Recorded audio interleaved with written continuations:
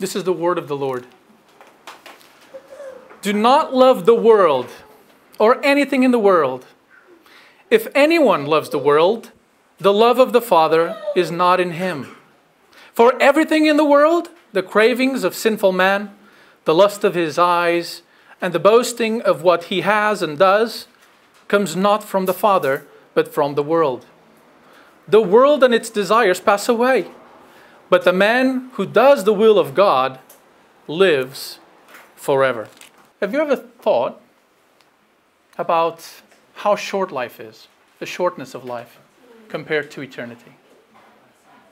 I talk to youngsters on the streets every week, and they think that they're not afraid to die or not afraid of death, not afraid of God or their eternal destiny. Unbelievers take life for granted. They want to enjoy what the world has to offer for as long as they live. Would it be money, fame, sex, all the luxuries of life, pleasures, food, traveling, everything that the world has to give? And I have a question, and uh, I want you to help me with this. Imagine an unbeliever on their deathbed. What would be some of the things you think that they would regret at the end of their lives? This is for you to tell me. What things do you think they would regret? Unbelievers. At the end of their deathbed, what do you think?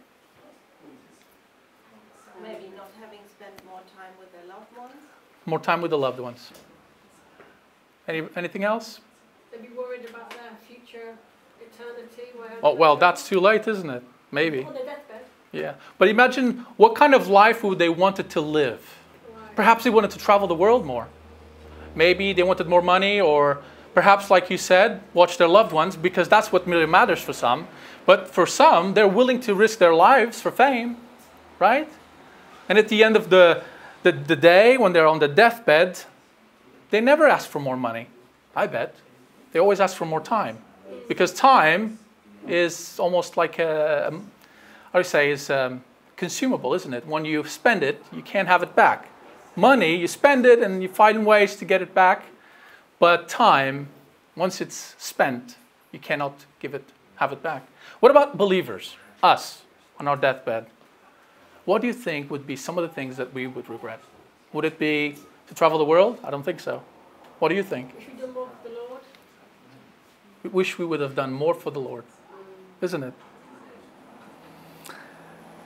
And what else can we think about? What about uh, teach our children, perhaps? Raise our children. Uh, be a godly father. Be a godly wife. Um, reach the lost. Serve the church more. Read the Bible more. That's the kind of things that go through our mind, isn't it? Now, why don't we live like that then? Right? If now we're thinking, well, if tomorrow I knew I was going to die, the things I would have done would have been differently. But we're still here by God's grace. Today's title for this message is Stop Loving the World. As you can guess, the subject of this passage is the world and the love for the world. And today, my goal this morning is to give you three reasons why we and you should stop loving the world. First of all, the world is incompatible, incom- incompatible with Christianity. The world is incompatible with God, it is incompatible with Christianity. Secondly, the world lures you away from God, it pushes you away from God. And thirdly, it's going to pass away. Right? It's not going to last forever. The Apostle John was commanding the believers not to love the world. So the implication is there are true believers who love the world, right? Or else he would not tell them, this church, do not love the world. If you have been with us since the beginning when we started this series on 1 John, you understand by now that there were some false teachers. There were some false teachers who had an ungodly and uh, a sinful lifestyle who were influencing the church. They crept in, deceived the brothers, was provoking hostility between the members with false doctrines and teachings.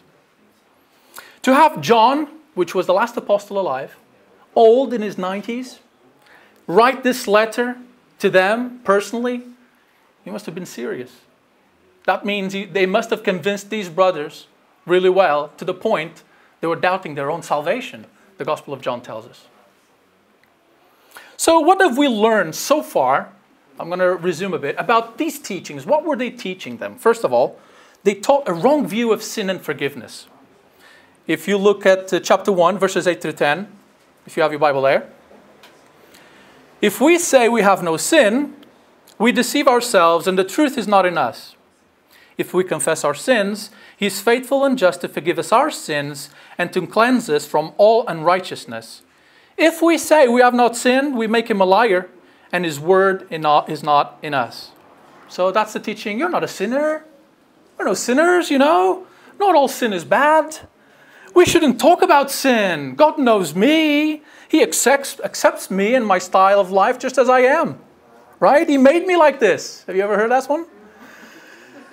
Oh, you shouldn't judge. Everyone's good. Everyone is naturally and basically good. Second thing that they were teaching is found in chapter 2, verses 3 and 6. And by this we know that we have come to know him. How? If we keep his commandments. Whoever says, I know him, but does not keep his commandments, is a liar. And the truth is not in him. But whoever keep, keeps his word, in him truly the love of God is perfected. By this we may know that we are in him. Whoever says he abides in him ought to walk in the same way in which he walked, that being Jesus Christ. You don't have to forgive. They'll be teaching this. You don't have to forgive. You don't have to love that brother because if you look at the context, they were hating each other. You don't have to go to church. You don't have to get married. You don't have to tell the, the truth or the old truth, the whole truth. You don't have to work. You don't have to evangelize, maybe. You don't have to repent. You don't have to know the Bible to love God. It's just me and God. I went on the streets with a Catholic lady this last uh, Thursday, and she was with her two daughters, and she told me, I love God, my daughters love God, and they pray to God. And I say, What does God love? What does God like? I said, Oh, I don't have time to read the Bible. And I don't go to church because I'm doing these things. And I said, Imagine if your sister said, she, uh, your sister, your daughter said that she loved you and she didn't even want to visit you she didn't want to read your texts, your letters, right? That's what she's saying. Basically, I love him, but in my way. I make God in my own image to suit my own needs. And whenever I need him, maybe if my daughter is ill or something, I might talk to him, hey, Lord, please save her. That's what we do, isn't it? We live in a clock in, clock out Christianity, right? That's the worldly influence of a consumer attitude if uh, they don't have my type of music, if they don't wear a tie, if uh, they don't have a building, or you just fill the blank, right? It's a consumer attitude that is looking to get, get, what can I get, rather than how can I serve, how can I give, what can I learn. You've heard these kind of teachers are present nowadays, aren't they? Not just there. You know those kind of teachers that go on the stage and do a motivational speech they don't touch the Bible. They might use a verse to speak about what they always wanted to speak about, but they walk around with no Bible in them and they make your hairs grow up. They make you tingle, they make you cry, they make you want to dance. And you leave there not knowing anything about the Bible or the Word of God, right? But you feel good because that's what's most important, right? Your life here. Is there, there's even a false teacher, I don't know his name, if you know him, that has a book that says, Your Best Life Now, I think. So you know who he is. But this is not our best life now. I always say to people. Now, they might use God, Jesus' name, right, to give validity to what they're saying. But we know, if we know the word, you can sense that they're only doing that to attract the numbers, right? Success in the world's view is about numbers. And today we got a few numbers, so is that successful? Well, it depends if what I'm saying to you will transform you, or will you walk away looking at the mirror and forgetting what you saw, which James tells us. This business of obeying God, you know, knowing the Bible, doctrine is too boring, right? Most people think. Not exciting. What's exciting about that? Memorizing scripture, learning about God, learning about the, the problems that these people have. So long ago. Give us something new. Tickle our ears with new teachings, right? Thirdly, also these false teachers were sowing division and hate. Look at uh, verses 9 and 11 just before our text today. Whoever says, this is John telling them, he is in the light and hates his brother is still in darkness. Whoever loves his brother abides in the light, and in him there is no cause for stumbling. But whoever hates his brother is in the darkness and walks in the darkness and does not know where he is going because the darkness has blinded his eyes. So, this today will be the kind of idea that you don't need to value the church. I've had people on the street saying, Oh, I believe in God, but I don't believe the church. Right? Well, the church are the people for whom Jesus died for. So, if you're saying you don't love the people that Jesus died for, you're not their brothers and sisters, right? Because you love your brothers and sisters, I hope, don't you?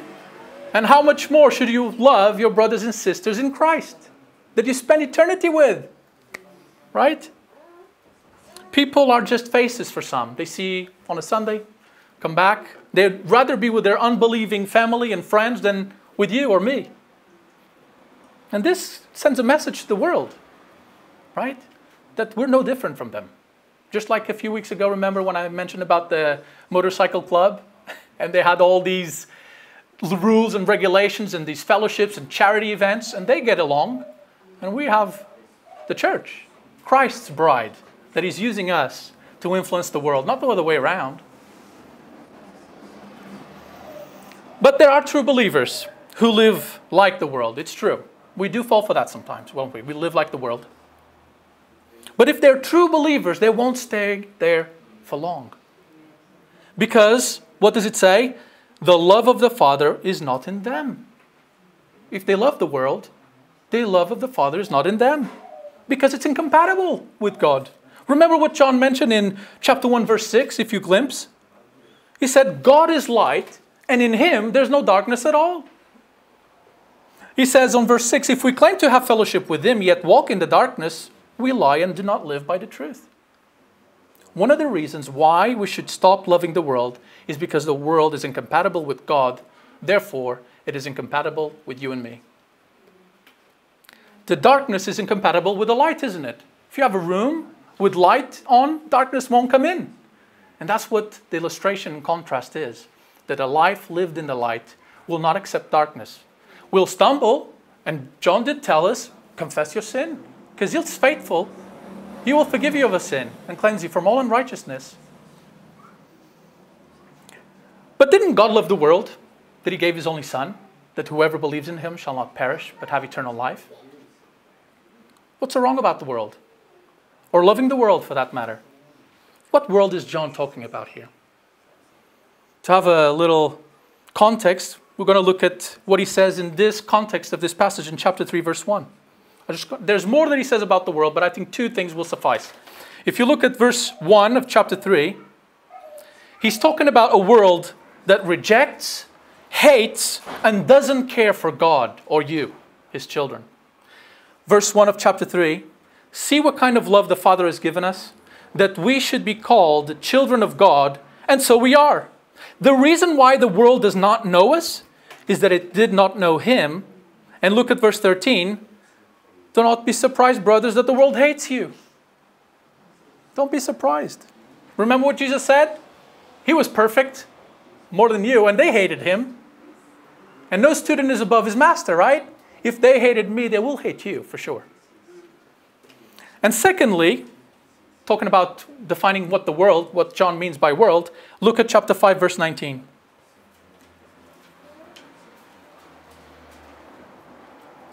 This is the kind of world he's talking about. He says, We know that we are from God, and the whole world lies in the power of the evil one. That's the world he's talking about. Okay? the world that's against God, the world system that's against God. A commentator on this verse says, I quote, For John, the world is shorthand for humanity in rebellion against God's will and in need of redemption. John 3 16, right? Jesus reminds his followers that they are to be in the world, but not of it. John 17. I'm still quoting. One cannot love both the things of the world and God. They are mutually exclusive. A saving knowledge of God bears itself out in obedience love for Him and cannot coexist with a love for the world. End quote. These false teachers taught a worldly type of Christianity. That's why the world loves it. If you don't have to deny yourself, take up your cross and follow Jesus and copy him, if you can be yourself and continue your sinful life, well, give me two of those, Jesus. I want another one just in case, right? There's no concern. There's concern actually for worldliness, but no concern for holiness. That's the kind of teachings they were teaching back then. And it's still true today. And the reason why they deceived, do you know why? The reason why they deceived is because they were children of the devil, children of the deceiver.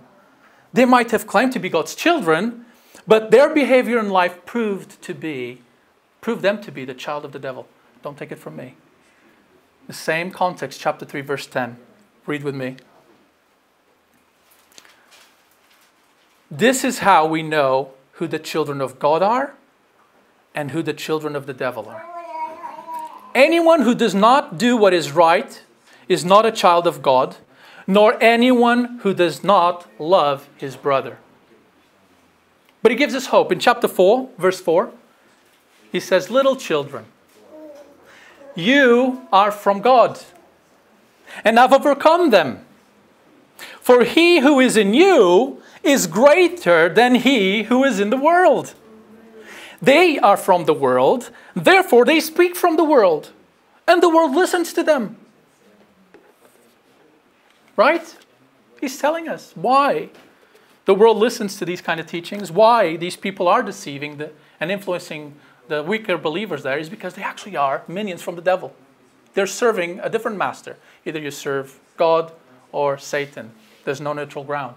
A commentator on this verse wrote, I quote, either one is a genuine Christian marked by love and obedience to God, or one is a non Christian in rebellion against God, that is, in love with and enslaved by the satanically controlled world system. So, verse 15 if anyone loves the world, plainly, the love of the Father is not in him. Very plain and clear, right? Loving the world is incompatible with our love for God, God's love for us, God's love in us. We cannot serve two masters. There's no neutral ground. We are either slaves to sin or slaves to righteousness. That's what the Bible says. And when we were saved, the Bible says that the shackles, the ability to fight this sin, has been released. And now with the Holy Spirit, you can fight that battle that we spoke about in the last message the spiritual battle that's not against flesh and blood. But secondly, we have to understand that a love for the world and the things of this world system lures us away from God as well, pushes us away from God. Love for the world is in direct opposition to the love for God. So we have to be more careful whether the world influences us or we influence the world, right?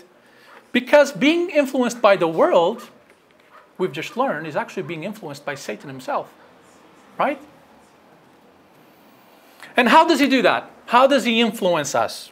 Well, John expands what he meant in verse 15 when he wrote, uh, Do not love the world or anything in the world. He expands on what this anything is by giving us three different ways that, he, that we can be lured, lured away from God. Let's read verse 16. For everything in the world, the cravings of sinful man, the lust of his eyes, and the boasting of what he has, has and does, comes not from the Father, but from the world. We have even translations you might have there that read the desires of the flesh, or the lust of the flesh, or the desires of the eyes, or the lust of the eyes, the pride of life, the boastful pride of life or possessions. So, to give you a, a bit more flavor to what he's trying to tell you there. Satan, through the world, influences us by these means.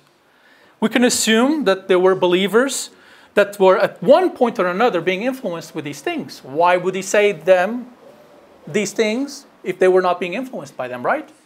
And don't be surprised if you and me are going to be influenced by these things too. We learned a couple of weeks ago, didn't we, that we all have different, that are in different stages of spiritual maturity. That we will struggle differently with some sins than others, right? We'll be more sensitive to certain sins than others. If you don't uh, uh, have last week's message, you can ask us and we'll give it to you. But we understand better that, of course, you're not going to struggle with the things that some perhaps old in the faith will struggle. Or some new believer will still be doing things that you remember when you were a new believer. You did things that you would regret right now, right? But those are the three ways he influences you and me the lust of the flesh, the lust of the eyes, and the boastful pride of life. What are these? There's a, a pastor by the name John MacArthur, I don't know if you know him, and he talks on this, saying, I quote, while the world's philosophies and ideologies and much that it offers may appear attractive and appealing, they are deception. Its true and persuasive nature is evil, harmful, ruinous, and satanic. Its deadly theories, theories are raised up against the knowledge of God and hold the souls of men captive. When he's talking about lust, he says, John uses this term negatively here for a strong desire for evil things. That's what it is. It's a strong desire to do what's not right. When he talks about the flesh, he says the term refers to the sin nature of man. We are men of flesh, not spiritual, before we're born, aren't we? I mean, born again. The rebellious self dominated by sin and opposition to God. Satan uses the evil world system to incite the flesh. I'm continuing. He says about the eyes. He said, Satan uses the eyes as a strategic avenue to incite wrong desires. Satan's temptation of Eve, for example, involved being attracted to something beautiful in appearance, but the result was spiritual death. The pride of life, he says, the phrase has the idea of arrogance over one's circumstances, which produced arrogance, exaggerating, parading what one possesses to impress others. That's the pride of life he's talking about. And then, not of the Father, he says, the world is the enemy of the Christian because it is in rebellion and opposition against God and controlled by Satan. End quote. So I define all those terms by someone who knows the Bible better than I do. But he gives you an idea of what John is trying to mean with all these aspects that Satan will use to influence you. We're not told specifically what things they were, right, in the text, tempting the believers in this letter. But since we know it comes from the devil, we might as well look at his schemes in the Bible and realize that his tactics have always been the same. Turn with me to Genesis chapter 3. In the beginning, you know, you just mentioned John MacArthur about Adam and Eve. Genesis, Genesis chapter 3. I'm not going to read the whole thing, but the things that are appropriate for what we're learning today. Remember what he said to Eve in the first verse in chapter 3? Did God really say? You must not eat from any tree in the garden. Can you really trust God's word, Eve? Are you sure that's what he really said? Doubt God's word? And Eve said, verse 2, Well, we may eat fruit from the trees in the garden, but God did say, You must not eat fruit from the tree that is in the middle of the garden, and you must not touch it, or you will die. Satan said, You will not surely die. The serpent said to the woman, verse 5, For God knows that when you eat of it, your eyes will be open, and you will be like God, knowing good and evil. Verse 6 When the woman saw that the fruit of the tree was good for food, hmm, and pleasing to the eye, and desirable to gain wisdom, she took some and ate. And she also gave some to her husband who was with her and ate it. See? Good for food, pleasing to the eye.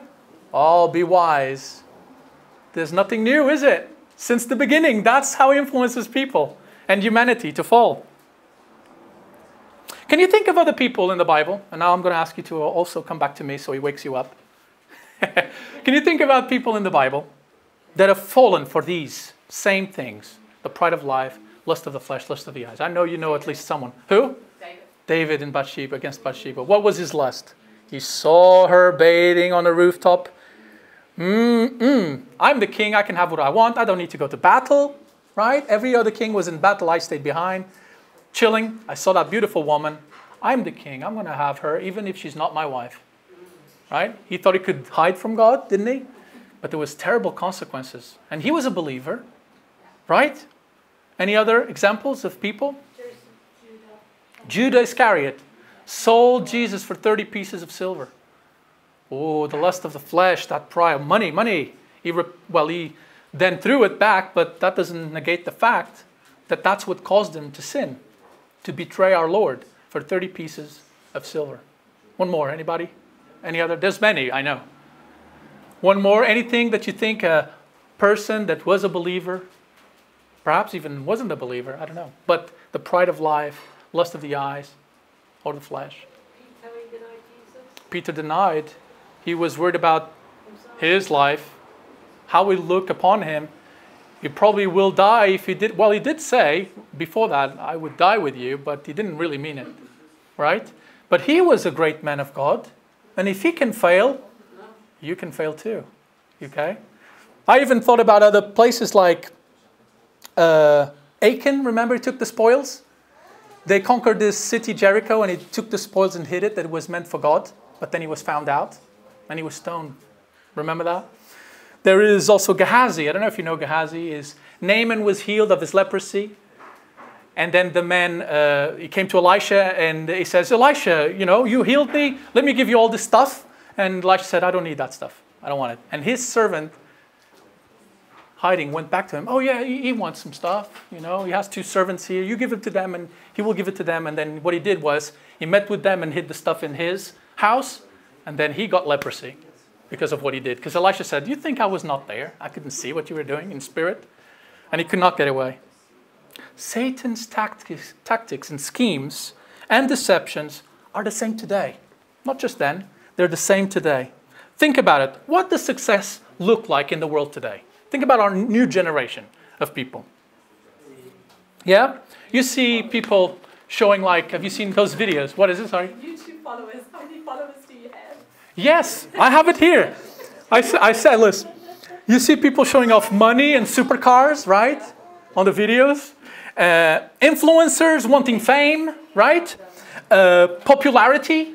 Uh, young women competing to be more sexually attractive, right? Um, it's about how many views, this is it, followers they have. This is off the notes. I saw, I don't know, I don't commend it, but there was this Dr. Phil guy, and there was this boy who basically didn't want anything to do with his family because they didn't have enough followers on Instagram or something. This is true stuff. This is true stuff. Just Google it. It's true. He said they're not worthy of his respect. Like, no, they don't have enough followers. They're nobodies if you're not having many followers. And, and think about it. What kinds of things do these people do, sinful things they do to gain, what is it, to click views, followers, right? I'm going to name a few and you're going to be knowing what I mean with this. They lie in order to get a click to people. They disrespect people. They prank them. Have you seen pranks? They steal. They argue. They cause fights and quarreling. They risk their own lives sometimes. Sometimes they go in the mountains and hang off the mountains. Some have died doing stuff just to get more attention. They spend money. They risk their health as well. There's this one that they eat, eat, eat, eat stuff just on a camera. Just, just eat. Just that's all they do to get views, and they stay in their home. This is true. Okay. Um, they sell themselves. Some sell themselves. Some use their own children to have views and make money. They do anything and everything for the attentions and pleasures that this world has to offer. Wow, how far are they willing to go to have this stuff in the world? The world wants your time, your attention, your money, your efforts. It wants you to be distracted with fame, sex, uh, money, drugs, alcohol. But even the people that have all these things, they're not happy. They're not happy. How many celebrities have you heard that had everything and they killed themselves? Or they're on drugs? Because it's not the purpose of their lives in this world. As we're going to learn in the end, it passes away. The false converts in this text deceived the many at that time. They were worldly and proved to be children of the devil. We need to stop living like the world, friends. We need to be role models to our brothers and sisters and children so they don't end up doing this stuff, right? I send my sometimes my child to school and she comes up with new vocabulary that I didn't teach. You know, we've changed her to a different school now to an Adventist school, I know, but they have better values there, okay? But she was coming up with things I didn't teach her. But how quick it is when you have something, a role model, a good friend, that copy them. And that's what she was doing. You know, she was copying her best friend in the things that she said. And we can be exactly the same with the things we watch, we do, the people we hang with can influence us if we're not careful. So stop loving the worlds and the thing of the worlds because it pushes you away from God. It lures you away from God. Now, can we struggle with these things? Yes. Hear me out. We can struggle. But from the previous passage, we've learned that the, in order for us to fight temptation and overcome the evil one, the verses just before, is with the Word of God. We have His Word, we have hope. Okay? And there's nothing wrong with fame, even sex or money. You can be popular for boasting in Christ. You can enjoy sex with your wife or your husband. But as long as your money is not an idol, you can use it to serve people, can't you? As long as it, the, the, the money is not, uh, you know, you're not being a slave for the money. So there's nothing wrong with, wrong with the actual paper, it's with the intentions and motivations of the heart that are wrong. Now, some of you might ask, well, Sandro, then how am I supposed to live in this world? Well, Paul admonishing the Galatians speaks about the freedom we have in Christ, and I'm going to let him speak to us. He says in Galatians 5, you don't need to turn there, I'll read it for you. Galatians chapter 5, verses 13 and 26. This is what he says You, my brothers and sisters, were called to be free. But do not use your freedom to indulge the flesh, rather, serve one another humbly in love. For the entire law is fulfilled in keeping this one command love your neighbor as yourself. If you bite and devour each other, watch out, or you will be destroyed by each other. So I say, walk by the Spirit and you will not gratify the desires of the flesh. For the flesh desires what is contrary to the spirit, and the spirit what is contrary to the flesh. They are in conflict with each other, so that you are not to do whatever you want. But if you are led by the spirit, you are not under the law. The acts of the flesh are obvious sexual immorality, impurity, debauchery, idolatry, witchcraft, hatred, discord, jealousy fits of rage, selfish ambition, dissensions, factions, and envy, drunkenness, orgies, and the like. I warn you, as I did before, that those who live like this will not inherit the kingdom of God. But the fruit of the Spirit is love, joy, peace, patience, kindness, goodness, faithfulness, gentleness, and self control. Against such things there is no law. Those who belong to Christ have crucified the flesh with its, with its passions and desires. Since we live by the Spirit, let us keep in step with the Spirit. Let us not become conceiting, conceited, provoking, and envying each other. There you go. There's a list for you to note down and practice and to need to work on. Because your world, your old self is died. That's what the Bible says. You are new creation in Christ. Have you heard that verse? You are called to, Ephesians 4, verse 22 to 24, put off your old self, which is being corrupted by what? The deceitful desires, to be made new in the attitude of your minds, and to put on the new self, created to be like God, in truth, righteousness, and holiness. You have to come to a point where you feel like this world is not your natural habitat. Your citizenship is not here in heaven. That's the place you need to be in order to fight the desires and temptations of the world.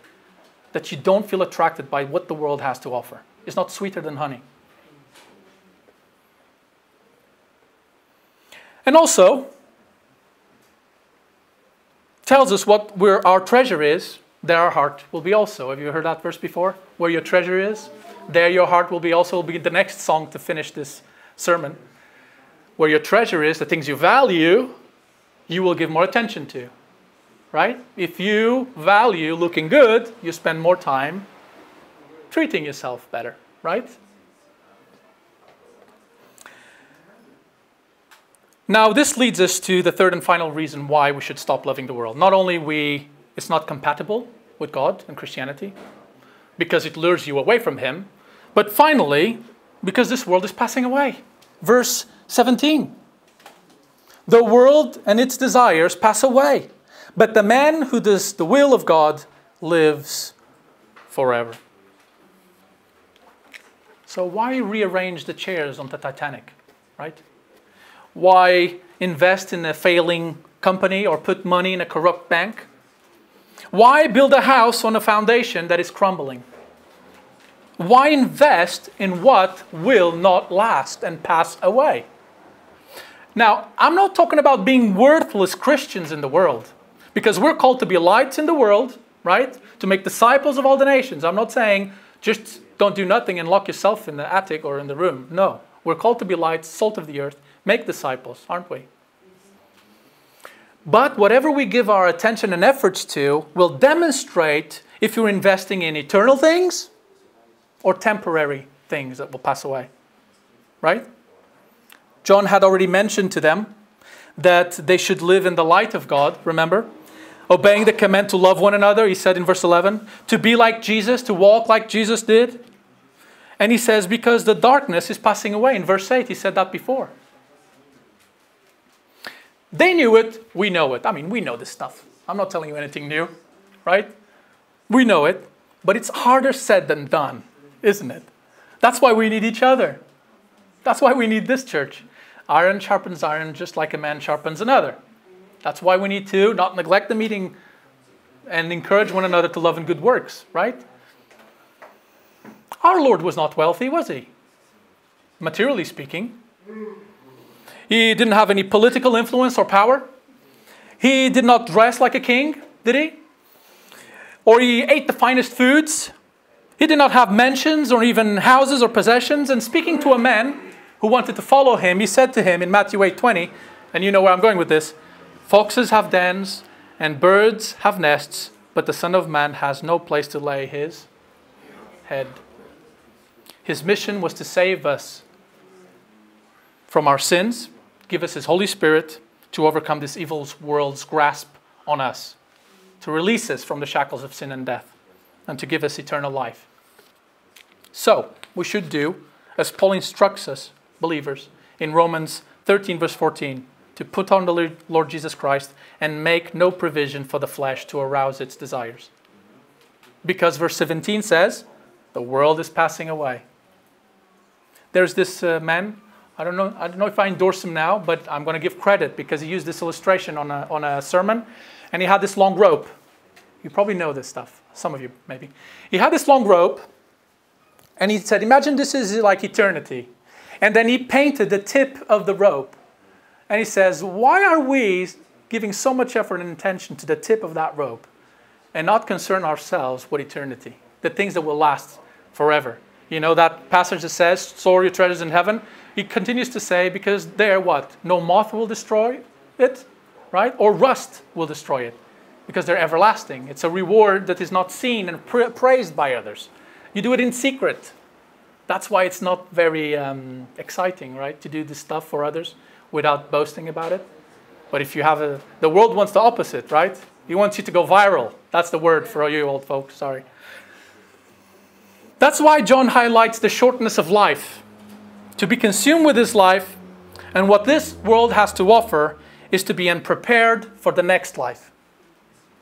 How sad is it if we invest our efforts and resources in what we will not last? I was telling you that I don't have my parents alive anymore. My mother and father passed away in their 40s, uh, not at the same time, but I remember vividly that my father was not present at home. He was a workaholic.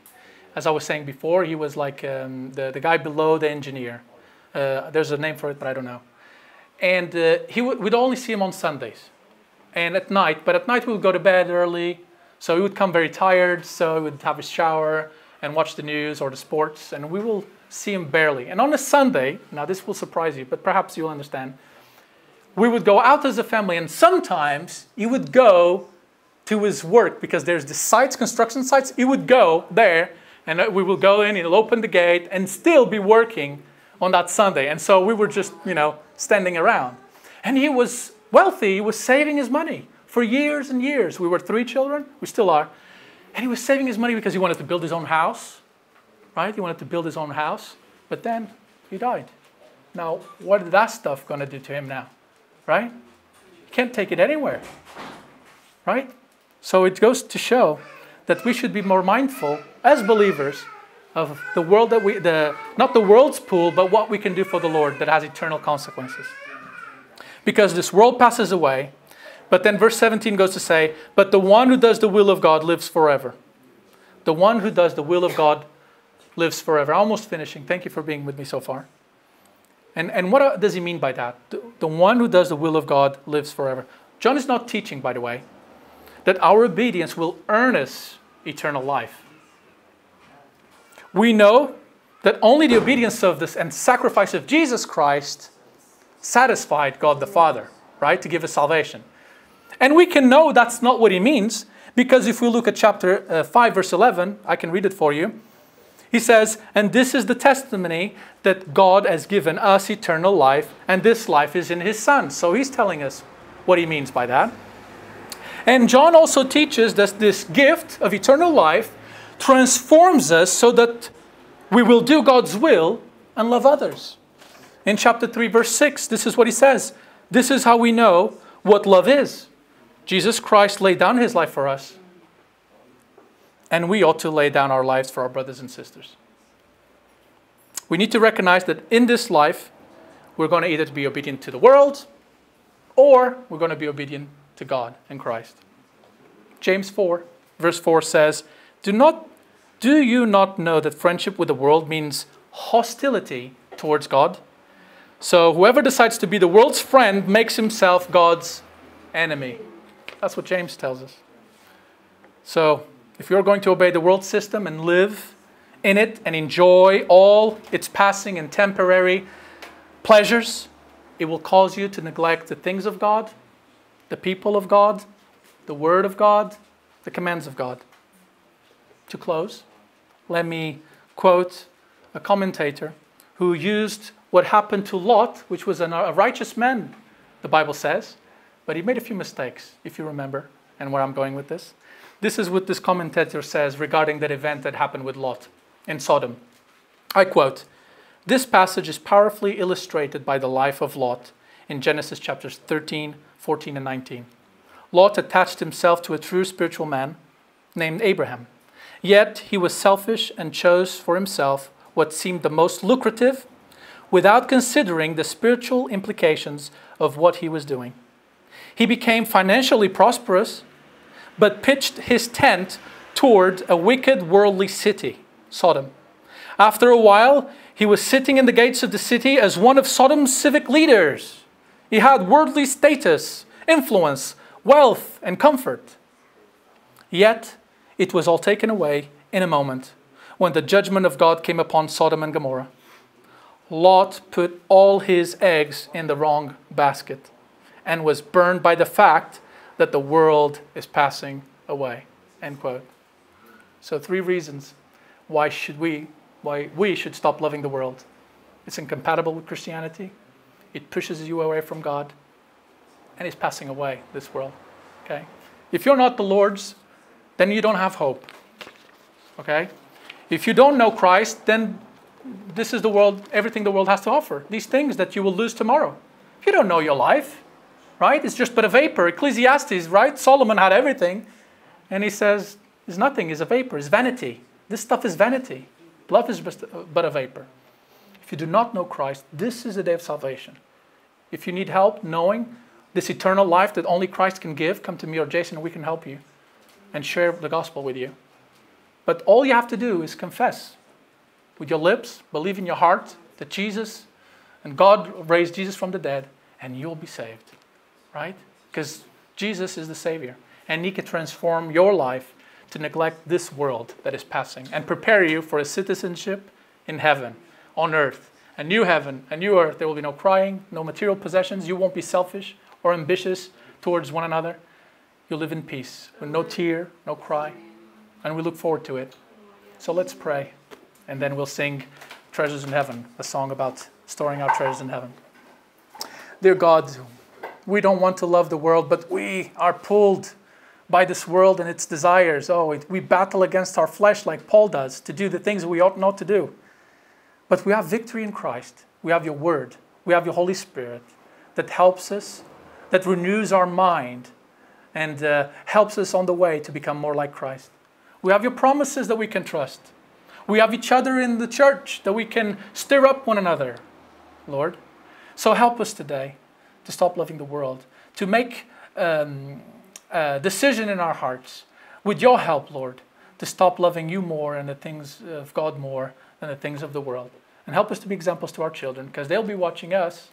They'll be watching us and they'll know if we're really living our lives for you. So we need you, Lord. Help us today and for the week ahead and for our life, we pray. In Jesus' name, amen.